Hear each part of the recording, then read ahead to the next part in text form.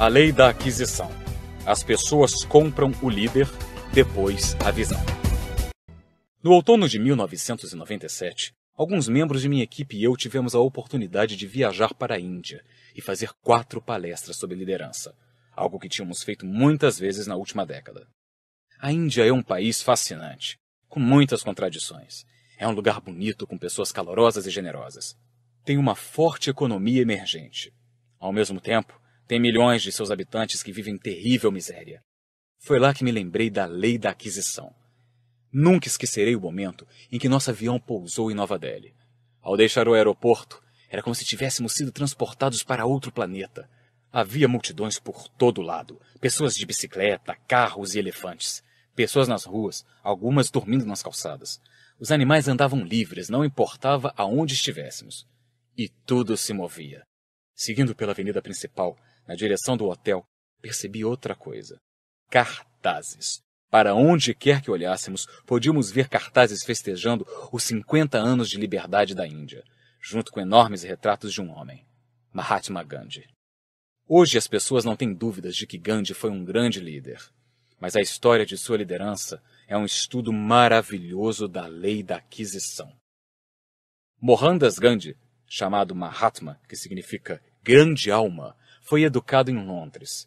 Após concluir sua formação em direito, ele voltou para a Índia, seguindo depois para a África do Sul. Por 20 anos, ele trabalhou nesse país como advogado e ativista político.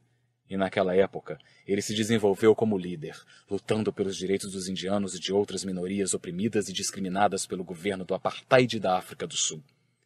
Ao retornar à Índia, em 1914, Gandhi era muito conhecido e altamente respeitado entre seus concidadãos. Ao longo dos anos seguintes, enquanto liderava protestos e greves por todo o país, as pessoas se uniram a ele, cada vez mais contando com sua liderança. Em 1920, apenas seis anos após retornar à Índia, ele foi eleito presidente da All India Home Rule Legal, Liga para o Governo Autônomo em toda a Índia. O mais impressionante não foi Gandhi se tornar um líder na Índia, mas ser capaz de mudar a visão que as pessoas tinham de como conseguir a liberdade. Antes de ele começar a liderá-las, as pessoas se valiam da violência em um esforço para atingir seus objetivos. Por anos, as revoltas contra o establishment britânico eram habituais. Mas a visão que Gandhi tinha para a mudança na Índia fundamentava-se na desobediência civil, método de oposição de não violência. A não violência é a maior força à disposição da humanidade é mais poderosa que a mais poderosa arma de destruição concebida pela engenhosidade do homem. Gandhi desafiou as pessoas a enfrentar a opressão com desobediência pacífica e não cooperação. Mesmo quando as tropas britânicas massacraram mais de mil pessoas em Amritsar em 1919, Gandhi convocou as pessoas a resistir, sem revidar. Não foi fácil conquistar as pessoas para que abraçassem seu ponto de vista, mas como as pessoas o tinham comprado como seu líder, elas abraçaram sua visão. Depois, elas o seguiram fielmente. Ele pedira que elas não lutassem, e elas pararam de lutar.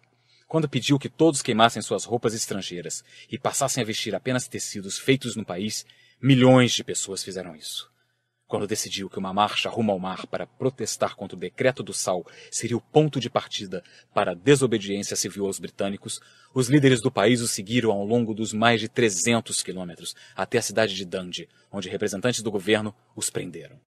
Sua luta pela independência foi lenta e dolorosa. Mas a liderança de Gandhi era forte o bastante para cumprir a promessa de sua visão.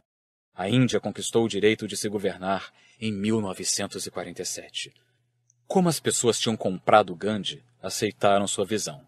E ao abraçar a visão, conseguiram realizá-la. É assim que funciona a lei da aquisição. O líder descobre o sonho e depois as pessoas. As pessoas descobrem um líder e depois o sonho. Quando faço seminários de liderança, recebo muitas perguntas sobre visão. Invariavelmente, alguém me aborda no intervalo, apresenta-me uma rápida descrição de uma visão corrente e pergunta: você acha que meu pessoal comprará a minha visão? Mas minha resposta é sempre a mesma. Primeiro responda-me: seu pessoal comprou você? Veja bem, muitas pessoas que lidam com a área de visão, de liderança, entenderam isso errado. Elas pensam que se a causa for bastante boa, as pessoas automaticamente a comprarão e a seguirão. Mas liderança não funciona desse modo. As pessoas de início não seguem causas merecedoras, mas seguem líderes merecedores que defendem as causas nas quais possam acreditar. As pessoas primeiro compram o líder e depois a visão do líder. Compreender isso muda toda a sua abordagem de como liderar as pessoas. Para a pessoa que assiste a uma de minhas conferências e pergunta se seu pessoal o seguirá, a pergunta passa a ser: Dei ao meu pessoal motivos para que me comprem?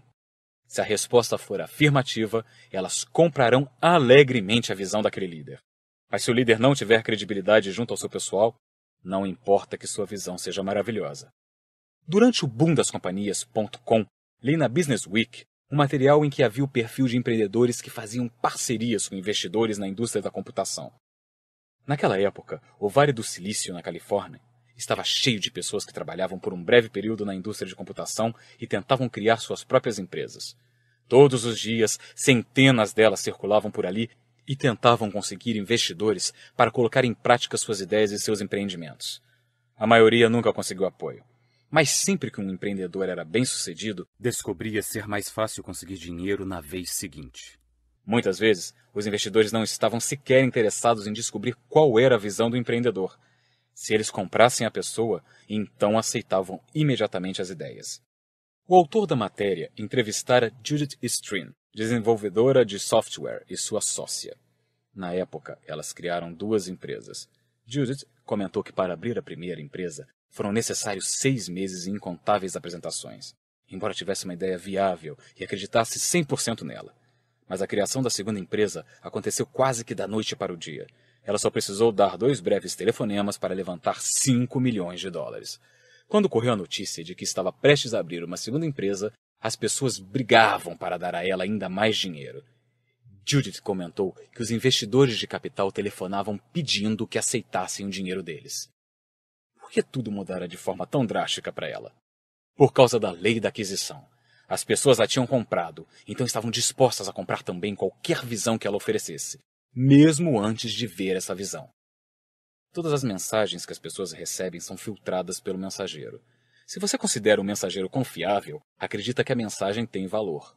Por isso, atores e atletas são contratados para promover produtos. As pessoas não compram um par de tênis da Nike necessariamente pela sua qualidade. Na verdade, estão comprando Michael Jordan, Tiger Woods ou Michael Vick. O mesmo vale quando atores defendem algumas causas. Os atores, de repente, tornam-se especialistas pela causa que defendem? Normalmente não. Mas isso não importa. As pessoas querem ouvi-los porque acreditam neles como pessoas ou porque eles têm credibilidade como realizadores. Depois que as pessoas compram alguém, elas estão dispostas a dar uma chance à visão daquela pessoa. As pessoas querem concordar com as pessoas que seguem. Você não pode separar os líderes das causas que defendem. Isso não pode ser feito por mais que você se esforce. Não é uma proposição ou ou. Os dois pontos estão juntos. Quando os seguidores não gostam do líder ou da visão, buscam outro líder.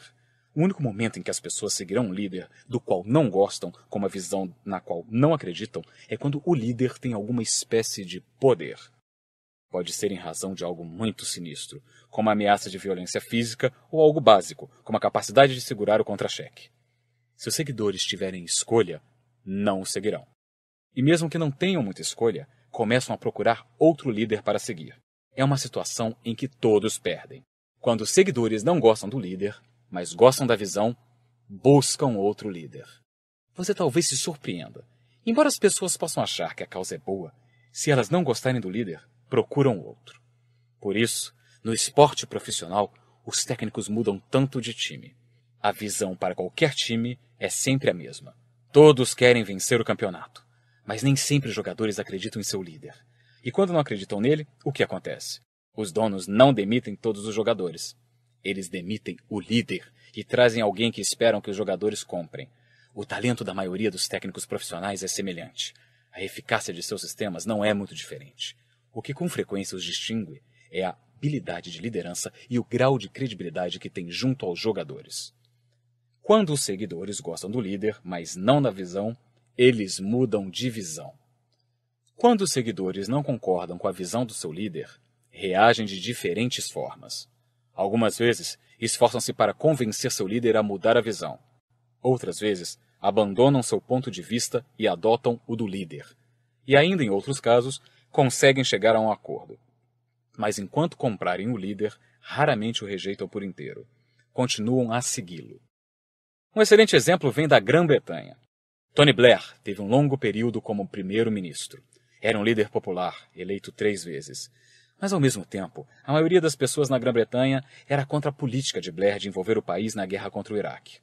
Por que Blair permaneceu tanto tempo no cargo? Porque eles o compraram como líder. Consequentemente, estavam dispostos a conviver com essa diferença filosófica. Quando os seguidores gostam do líder e da visão, eles seguem o líder e a visão. Quando as pessoas acreditam em seu líder e na visão, seguirão seu líder sem levar em consideração as condições, por mais ruins que sejam, ou as probabilidades, por mais que estejam contra elas. Por isso, na época de Gandhi, o povo indiano se recusou a reagir enquanto os soldados os chacinavam. Foi isso que inspirou o programa espacial americano a tornar realidade a visão de John Kennedy e colocar um homem na Lua. Essa é a razão pela qual as pessoas continuam a ter esperança e a manter vivo o sonho de Martin Luther King Jr., mesmo depois dele ter sido assassinado. É o que continua a inspirar seguidores a continuar na corrida, mesmo quando acham que bateram contra o muro e perderam tudo que tinham. Como líder, não basta ter uma grande visão e uma causa valorosa para que as pessoas o sigam.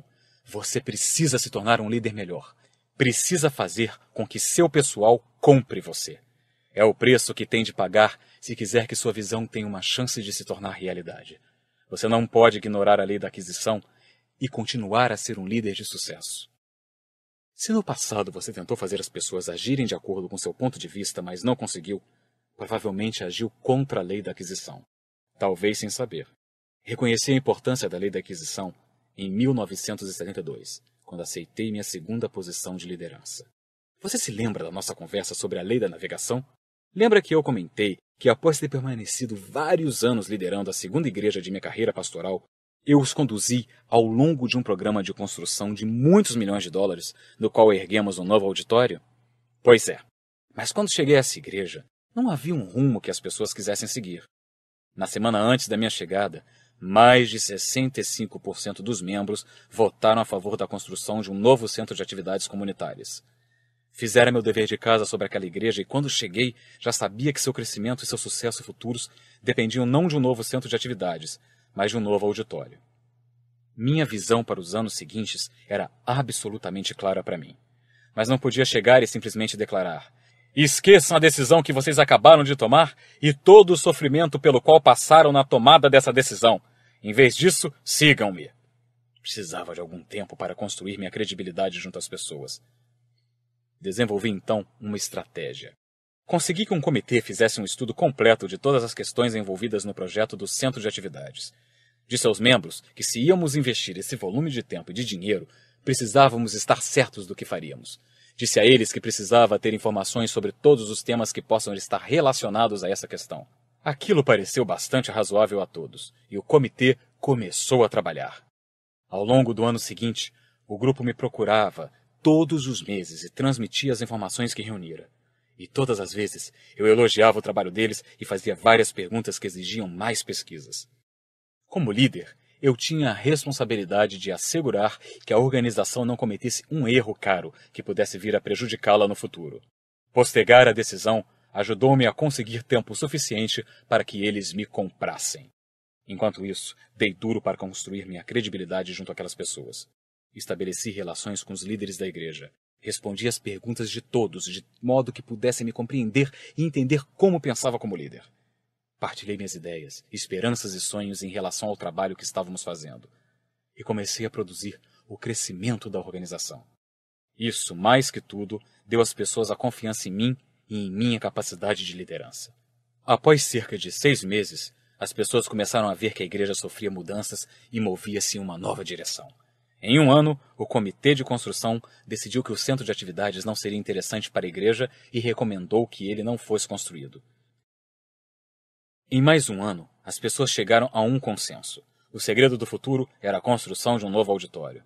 E no momento certo, 98% das pessoas votaram a favor do projeto e começamos a construção. Quando cheguei àquela igreja, poderia tentar empurrar minha visão e meus planos para as pessoas. Provavelmente era o que teria feito em minha primeira posição de liderança. porque era inexperiente e não compreendia que a crença no líder era tão importante quanto a crença na visão. Mas naquele momento, amadurecera um pouco. Sabia que minha visão era a coisa certa a fazer no momento em que cheguei a essa igreja, em 1972. Assim como estava certa dois anos depois, quando a implementamos. Mas se tentasse vender minha visão, em vez de vender a mim mesmo, não teria conseguido ajudar aquelas pessoas a chegar aonde precisavam ir. E nesse processo, teria abalado minha capacidade de liderá-los. Como líder, você não ganha pontos por fracassar em uma causa nobre.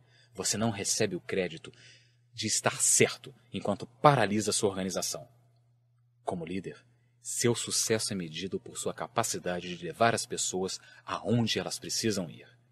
Mas você só consegue isso se antes as pessoas comprarem você. É a realidade da lei da aquisição. Conforme prometi, incluí alguns questionamentos no fim de cada faixa para ajudá-lo a aplicar cada lei à sua vida.